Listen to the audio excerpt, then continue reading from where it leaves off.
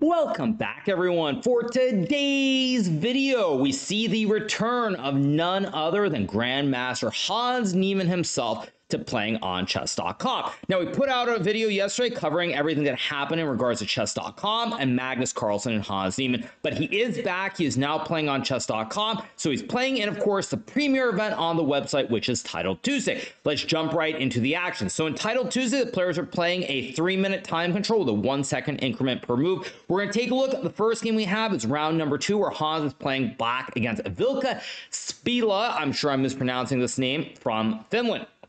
So Hans won his first round game, second round game, he's playing with a black piece, and let's jump into the action. So we have the move c4 here from from Sipilä, which is definitely uh, different. We have the English opening, we have c4, e5, knight to c3, knight to f6, and now we have the move knight to f3. Sipilä playing the classic four knights variation of the English opening. Now, this is something that was featured in the World Chess Championship match between Ding Liren and Ian Nepomniachtchi. So we get e3, bishop to b4, we get queen to c2, bishop takes c3, and now we get the move queen takes c3. Now b takes c3 is one of the other moves that white can play here, but traditionally when white plays these structures, normally white likes to put the pawn on e4 when capturing towards the center. So for example, another way of looking at it is say we get e4, bishop b4, queen c2 takes takes, for example. Now white will play d4 and put a lot of pressure on the center because you have these two pawns on e4 and d4, which control a lot of squares. So Back to the game, we get takes, we get queen takes c3, queen e7 being played, and now we have the move b3. Now, most of the main lines feature this move d4. We get e4, knight to d2, and d5. Many strong players have played this from both sides. I will add this is a variation that I have looked at in the recent past, and generally I think black is doing okay. The reason is that even though white has the bishops, this dark square bishop is very, very passive on the diagonal. So after, say, bishop after b3, bishop e6. If you go bishop b2, the pawn is, or the, not the pawn, sorry, the bishop is behind this long diagonal. If you play a move like a4, after a5, bishop a3, knight b4, black gets a nice little hook here. And the main issue is this dark square bishop, no matter what white does. So back to the game, we get this move b3 from Sipilä. Idea is simple. White does not want to commit to d4. White wants to keep this diagonal open. For example, after we get d5 here being played, if white could go bishop b2, e4, knight d4, suddenly the diagonal is completely open for the queen and the bishop. Additionally, if black were to place a d6, bishop b2, down the road, maybe you can play something like d4, e4, and d5 to rip open this diagonal once again. Whereas in the other variation, if you get the knight to d2 and d5, you cannot open up this diagonal. So Hans plays d5 here. We got pawn takes pawn from Sipilä, knight takes pawn, and now we get the move queen to c2. And here Hans plays e4, trying to be very aggressive immediately. Now, as you will see from the bar, things have gone wildly astray for white at this point in the game. The opening has not gone how he was hoping for. If white were able to get bishop b2, and e4 would still be good for black, but here white could play knight to d4, trading the knights on d4 and now at least even though you have some light square weaknesses with say knight b4 knight d3 down the road it shouldn't be that big of a deal. But in this position here after we get the move e4 being played white cannot really play knight to d4 because after knight d4 takes takes and say knight f4 with the idea of knight d3 or even queen g5 black is doing very well. Easy development bring the light square bishop out and castle the king either to the king side or the queen side so Sipilä plays knight g1, Hans goes knight d b4, and the idea is to try and take advantage of these weaknesses, specifically on d3 and c2. We get queen c3, Hans plays knight e5, trying to create the classic bastion here on d3, and already it's looking very, very bad for white. We got bishop to a3 being played here, and now Hans plays this move knight to d3, which is a mistake. Computer actually thinks that after either a5 or c5 here, black is doing very well. In fact, c5 is somewhat counterintuitive, especially in a blitz game, because after bishop takes, pawn takes, the reason this is so good is that down the road, let me just set up a random position here. Let's say we get a position like this. Black can use both the D file as well as the C file to try and activate both these towers. So C5 intending to capture on b4 and create these double pawns makes sense simply to use this open c file down the road. Again, very counterintuitive, but after a5, black would also be quite a bit better, hoping for takes, takes, and then using the rook on the open a file. Instead, Hans plays knight d3. We get bishop takes knight, knight takes bishop, queen takes knight. Of course, white cannot move the king out of check because then black will capture the bishop and simply has an extra bishop on the board and will win very soon. So we get takes, takes, takes. We get e takes d3, bishop e7, king e7. And now white is relatively okay here. Now white still has not finished his development. You have this knight on g1 and rook on h1. But the problem is this pawn on d3 can become a serious weakness down the road if white is very precise. So we get rook to c1 here, an excellent move played by Sipilä, because after, say, knight to f3, for example, black can now play moves like bishop e6, say you were to castle, and after c5, rook c1, rook c8, black is already quite a bit better because you cannot use a square for the knight on d4. Black intends to bring the other rook to the center and maybe go b5 and c4 down the road, but the main issue is that this knight on f3 just doesn't have this very nice square on d4 to move to. So we get rook to c1. Hans plays c6, protecting the pawn from being captured. We get the move f3 here being played. Now, this is a little bit too slow from Sipilä, but what he is hoping to do is long term, he wants to go e4, king f2, king e3, and capture the pawn on d3. So just to illustrate, let's say you just waste time moving the bishop back and forth. At some point, you're going to be able to play rook c3, capture the pawn, and then once you capture the pawn, you'll be able to bring the knight to c3 or d4, and you will win the game eventually. So we get the move a5 being played here. Sipilä plays rook to c3, attacking the pawn on d3. Hans plays rook d8, guarding the pawn. Now, I do think that here the computer actually likes a4 because after rook d3 takes, takes rook a1, king to f2, bishop to e6. White has a big issue developing this knight on g1 as well as the rook on h1. Black can always bring the other rook over to a8 and a3 and go after this pawn on b3, while white has to figure out what to do on the king side. So black is winning, but again, it's a blitz game and you don't want to spend too much time. That being said, at this point in the game, with both players having only used 50 seconds, this would have been a good moment to spend like 20 to 30 seconds trying to figure out whether a4 was a good move.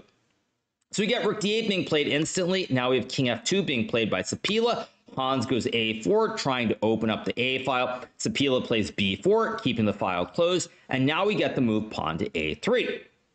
So after a3, now knight h3 is played, and already it's getting very, very hard for Hans to play here because he now has two very serious weaknesses on both a3 and d3. White can bring the knight to attack the pawn. Additionally, if you were to take and give white these double pawns on the edge here, it's actually quite difficult for black to play because I have to say rook d5 and rook b1 you don't have a great response to rook to b3 attacking both of the pawns on a3 as well as the pawn on d3 and if we do get this position you can't really guard a3 and if you ever go to d8 then i then i just simply capture take this one. So here it's already very very hard for hans to play. And i think that practically speaking it's an easier position for white so we get rook to a4, trying to attack the pawn on b4. Rook to b1 is played, guarding the pawn, and now we have bishop to e6. And of course, knight to f4 is played. Now back here, the computer apparently thinks after knight f4, maybe white is better after rook takes b4, knight d3, rook a4, and something like rook b1, trying to use the open b and c files, but again, the show goes on.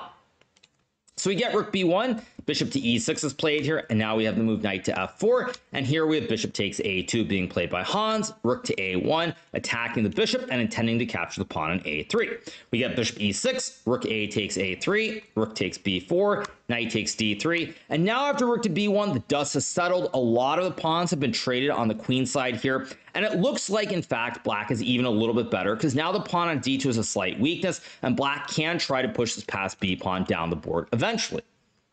So we get king to e2, b5 played here by Hans. Idea to play b4, forking the rooks on c3 and a3. But there is one big drawback to this move, which is that here white could have played the move knight to e5, threatening to capture the pawn, and fork the king on e7 as well as the rook on d8. And at this point, it's very, very hard for black to play. Apparently, computer thinks after king f6 is still equal with knight c6 and rook d6, intending to play b4. But white also has e4 with the idea of playing e5, forking the king and the rook. So instead, we get rook c1, which is a move that you can play. You're down a little bit of time. You want to play something simple. It's a nice move. It dodges the fork, and it also forces black to trade off one set of rooks.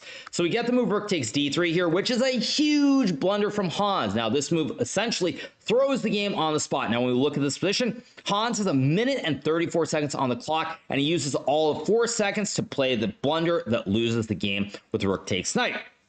Now, in this position, what Hans should have played, he should have traded the knights and played something like c5 and b4. Again, I'm not really convinced this is winning in the long term, or at least with perfect play. But considering the time situation, having 40 seconds more on the board here and an easier position to play, I do think, and also Hans playing someone who's 300 points lower rated, you do expect Hans to win this position. Instead, Hans plays rook takes d3 after four second think, and now his opponent Sipilä is able to play his move rook to a7, checking the king, and now disaster is striking.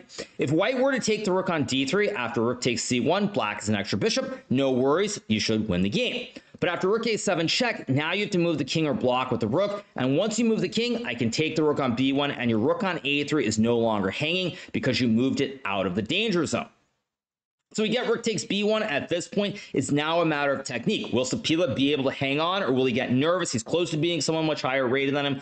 Let's find out. So we got bishop c4, king to d1. Hans plays rook to d6. Sipilä goes rook c7. Nice kebab here. Rook attacks everything on the 7th as well as the pawn on c6. We get bishop to f1 g3 played here. We got bishop c4 back, rook to c1, king e6, rook c3, king f6, king c2. Now white wants to play d3, putting all these pawns on the fourth rank and eventually capturing the c pawn. So we get king e5, d3, bishop d5, e4. Great move here. Trying to remove the bishop, which guards the pawn on c6. We got b4, rook c5 played. Now, d4 would have won on the spot as well, but Sipilä tries to avoid any danger and goes rook c5. We get king to d4 played, rook to a5. We have bishop to e6, rook a6 here. Another move that is apparently not best from Sipilä. But again, you look at the time situation, only a five second differential. You do expect the higher rated player here in general to play higher precision moves on average than the lower rated player. So we get rook a6 now. If if Hans had been able to find his move king to e3, it would have been very interesting to see whether Sipilä would have been able to win this. Because after rook c6 and rook d3, suddenly the rook is infiltrating. There's a nice kebab. All of white's pawns are very weak here on e4 and f3. And I think there's actually a very, very good chance that Hans would have won this game, even after making these mistakes. Instead, Hans plays king c5. We get rook a to a7. I don't know if this actually does anything since the pawn on f7 is guarded by the bishop, but it is what it is. We get rook to d8. Rook c to b7 here. Now, this move is a very critical move here because what it does is white wants to play rook a5, checking the king and winning the pawn on b4. Hans plays rook d4, which now loses because after rook to a5 check, we get king to d6. And here, Sipilä could have played pawn to e5, checkmate, winning the game on the spot. It's just checkmate, game over. Instead, Sipilä plays f4. Now, again, eight seconds left. Can't really be super faulty, but it super uh, critical, I should say. Um, but he misses the mate in one and plays f4 instead. We get bishop d7, we get e5, king e6, and now we get king to d2. f6 played here, king e3, and after c5, rook takes c5. The rook on d4 is trapped. You simply have no squares to move to. We get rook d5, Rook takes d5 is played, and here Hans resigns in the second round game titled Tuesday as he simply lost here after king takes rook, rook takes bishop, white is an extra rook, mops up all the pawns on the king side, and that's GG, why not? So very, very tough second round game for Hans. He does lose, and now we're going to move to the next game we want to look at. Now, I believe this game was played in the seventh round. Uh, Hans won quite a few games in a row after lose. He lost this game. He drew one game. I believe going into this game, he was on four and a half points out of seven, if I am not mistaken. I, it could have been three and a half out of uh, out of six, but I think it was he was on four and a half out of seven, and he's paired against another young junior player, one of the great players that we've heard a lot about in recent times, Tani Adewumi. Now, Tani is a FIDE master. He's approximately 12 years old. His story is very inspirational. He was, uh, I believe, an immigrant, came over to America with his family due to all the fighting in Africa. He, I think, started playing in one of just the local shelters or something, took up chess, and he's become very, very good. I would also add that Tani is the only chess player in the world that I'm actually jealous of. Now, you may wonder why am I jealous of Tani? The reason I am so jealous of Mr. Tani Adewumi is that maybe about a month ago, he actually was in this promo for this company, Uniqlo, and he played chess against none other than one of the goats, if not the goat of all time. I know I'm going to get a lot of comments and comments uh, in the comments uh, on this video where people say, ah, you're being so mean towards Novak Djokovic. But at any rate, Tani was able to play against legend, one of the ghosts, the Swiss maestro, Roger Federer. So Tani got to play chess against Roger Federer. Now, not to go into a long um, long story on this, but some years back, both Magnus and I played in this tournament called Biel, which is in the country of Switzerland. And I remember that I think Magnus had actually made a request to the organizers, wondering if it would be possible to talk to Roger, play against Roger, something of, of that nature. It never happened, obviously. I feel the exact same way that Magnus does, but alas, neither of us have had the opportunity to meet Roger, let alone play chess or tennis with him. So I, for one, am very, very jealous of Tani, and I'm always going to be very jealous of him no matter what happens in the future. So Han's playing with the white pieces here against Tani, and we get to move e4. Now we have c5, knight to f3. Tani plays e6, and we get this move b3. Now this is avoiding some of the open lines in the Sicilian with d4, where after takes takes, black can play the Kan with e6 and a6, or play knight c6 and play the Taimanov slash Paulsen variations, variations which were featured in the match between Fabiano Caruana and Nijat Abasov in the consolation consolation match of the FIDE World Cup. We of course did cover that in one of our recent videos. So we get b3, Tani plays a6, bishop b2, d5 played here. Hans trades the pawns on d5, and now he plays g3, trying to set up the double fianchetto by putting the bishops on the b2 and g2 squares here. And basically what he's doing is he's hoping that long term he'll be able to finish development, castle check quickly, and get a big advantage before black can finish his development because all these pieces are on their original starting squares. Black has played uh, four pawn moves to start the game or five, I should say. So we get knight to c6, bishop g2 is played, knight f6, queen to e2 check, Tani plays bishop e7, and now Hans takes on f6. Now, it's a very, very committal move, but it's a move that I like here. And the reason I like this move is because after takes takes, even though white has given up the bishop pair, it's going to be very hard for black to castle the king to the queen side. He'll have to move the bishop, the queen, and castle. And if you castle the king side, king is going to be completely open with the structure of h7, f6, and f7. So Hans castles, we get castles here from Tani. Now, oddly enough, the computer thinks it's still okay, but it's very, very shaky. Probably if I were playing here, I would have played either bishop to e6 or bishop to g4, trying to castle the king to the queen side, rather than having to play with this very miserable pawn structure on the king side. So we get castles, knight c3 played here by Hans. Tani plays f5. Now, this is a move that I really don't like because after f5, you hem in the bishop. You can't use this diagonal anymore. Now, of course, Tani is hoping to be able to activate the dark square bishop, but nonetheless, I think this pawn at f5 and pawn on d5 will become weaknesses down the road. So we got knight to e5 played here, bishop e6, Knight takes knight, pawn takes knight, and now we have queen h5 played by Hans. At this point, Tani's pawn structure is in serious ruins. You have the double pawns on c5 and c6, the double pawns on f7 and f5, and it just is very hard to play, even if objectively the computer thinks it's okay. So we have bishop f6, rook a e1 played here by Hans. We get bishop g7. Now we have knight to e2. Another nice move here, trying to activate the knight towards the king side and pressure the bishop on e6, as well as the pawns on f7 and f5. Additionally, you can always go bishop h3 to target the pawn on f5 as well. So we get queen to f6, knight to f4 is played here. We get rook f e8, and now we have this move pawn to c3. Now, this move is maybe not necessary. Probably you can just stack the towers on the e file, but nonetheless, it's a pragmatic move, which prevents black from infiltrating with queen to b2. So for example, say you go like rook e2, maybe there's some queen b2 trick targeting the pawns on c2 and a2.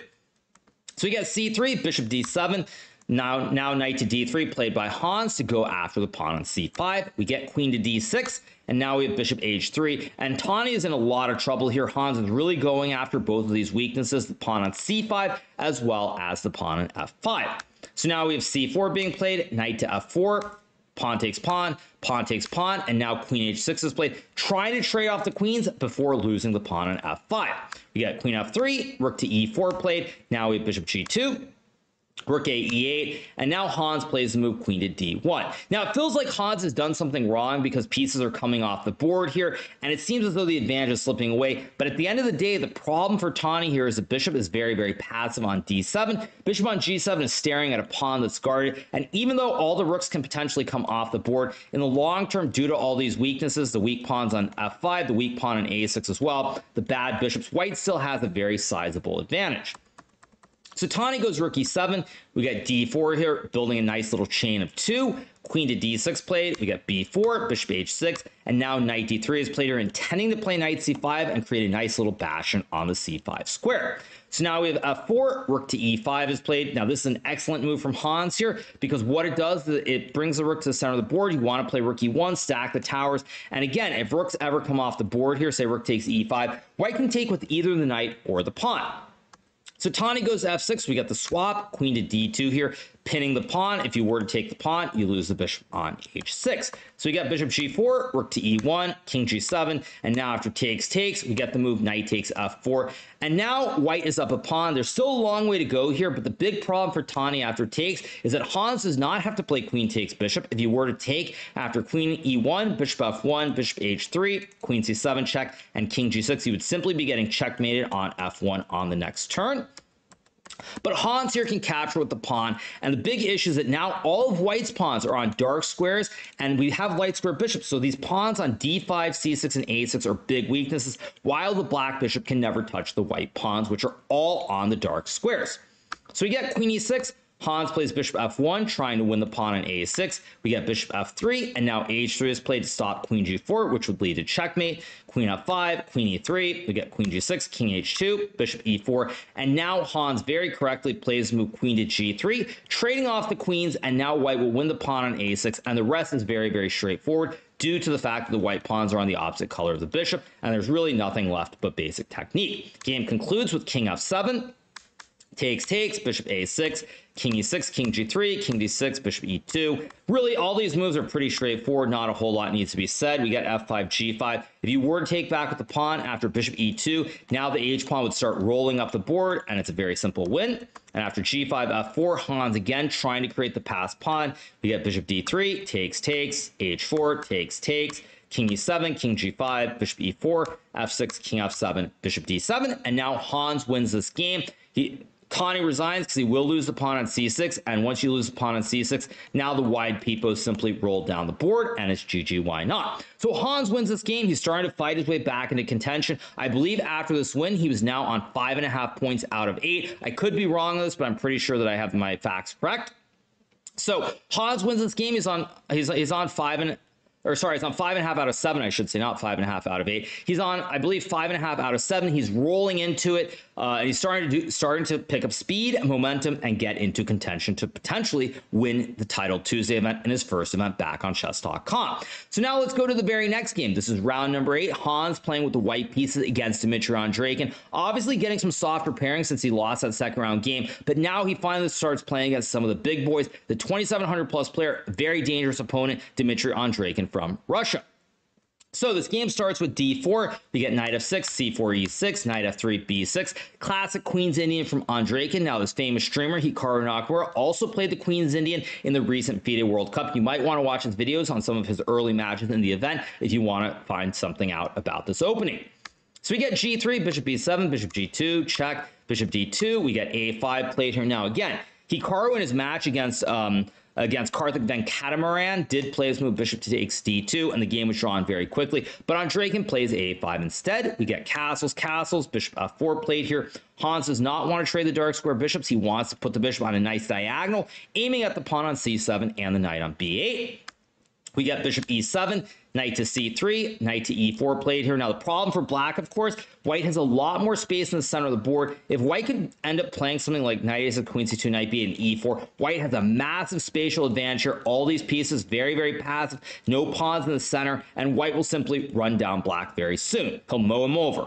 So, we get 94 here. Also, as I've mentioned on many videos, one of the basic themes in chess, when you have a lot less space, you look for two things. Pawn breaks or piece trades, specifically knights and bishops. So we get knight to e4. Hans plays h4 here, very much in the spirit of Magnus Carlsen, his great foe. Magnus has actually started incorporating h4 a lot into many of his games in recent times. This is also something that Alpha Zero and Stockfish highly recommend, which is push and p on the king side. Harry 4. So we get h4 here, d6 played by Andreikin. We get queen to c2, knight takes knight, pawn takes knight. Now, the reason Hans captures with the pawn here is if you were to take with the queen, after a move like bishop e4, it's going to be very hard to push e4 in this situation. And black has very easy development with knight d7, followed by either c5 or e5.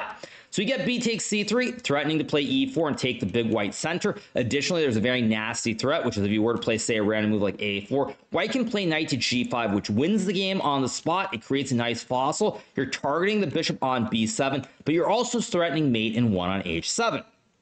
So after bishop takes g2, queen takes h7 is game over. You lose immediately. And after bishop takes knight here, white can take the bishop on b7. And if you move your rook, I take the bishop attacking the queen. And if you were to take the bishop, I take your rook. And after bishop h6, bishop g2, white has a rook for a knight, and white should win the game very shortly.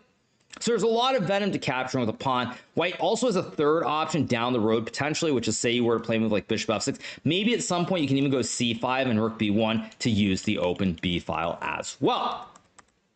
So we get the move queen c8, guarding the bishop and stopping the fossil with knight g5. Hans plays knight g5 anyway. We get pawn to g6. We get e4 here. And now white actually has a big white center. But on the other hand, you have this isolated double pawn on c4, which can become a very serious weakness down the road. On the other hand, white wants to play for ah5, maybe attack on the king side, and you never know what will happen there.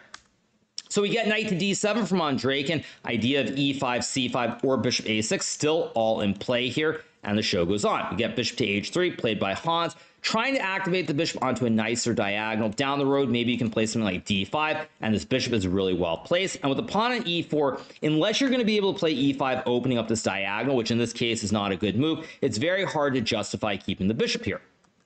So we get bishop h3, queen d8 is played, rook f e1, we get knight to f6, rook a d1, knight to h5, bishop to e3, and now we get bishop a6 here. Black trying to finally go after this pawn on the c4 square.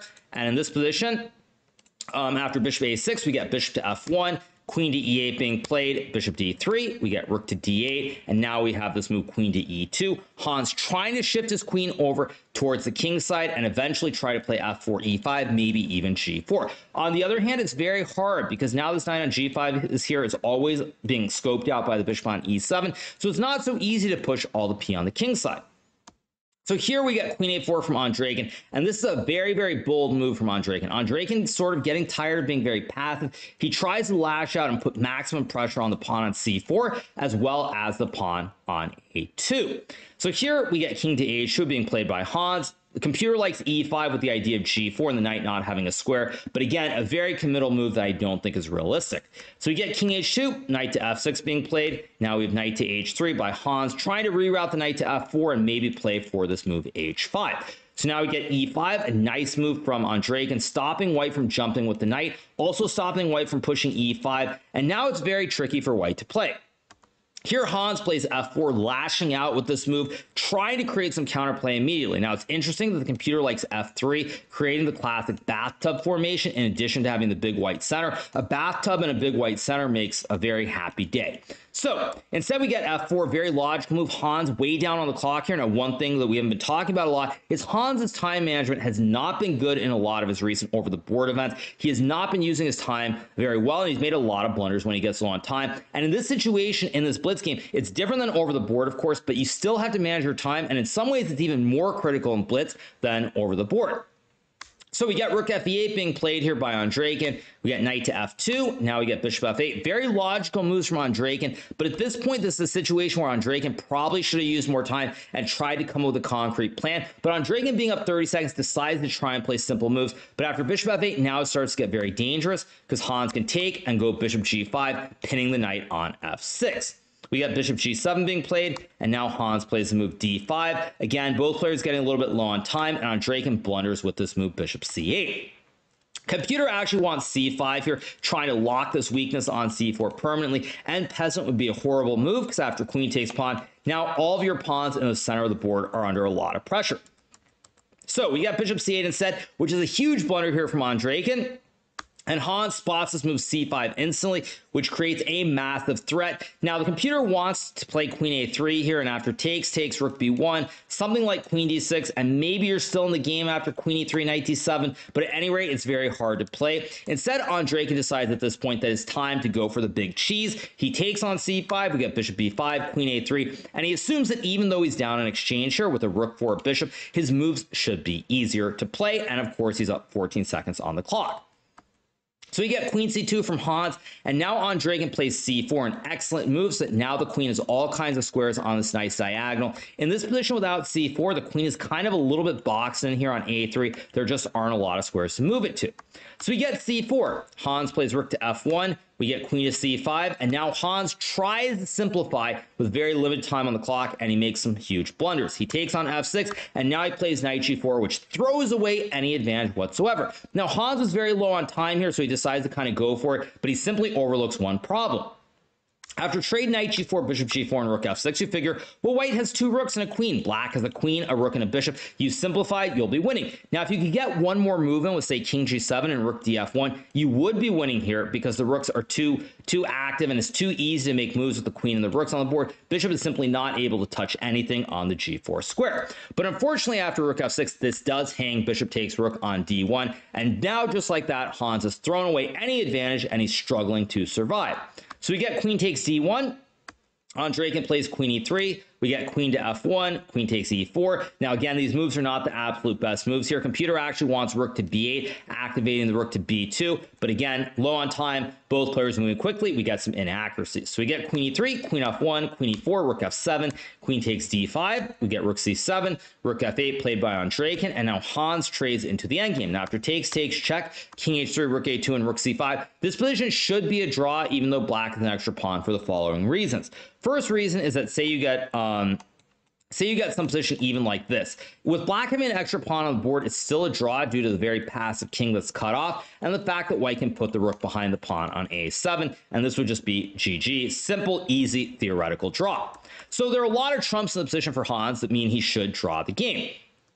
But after rook c5, the show does go on. He's low on time here. Let's see what Andreikin can do. So we get e4, rook to e5 being played, rook to a4. We got to move king g4. And now it's very clear that Hans will draw the game because he's bringing the king closer to the center to capture the pawn on e4 or the pawn on a5.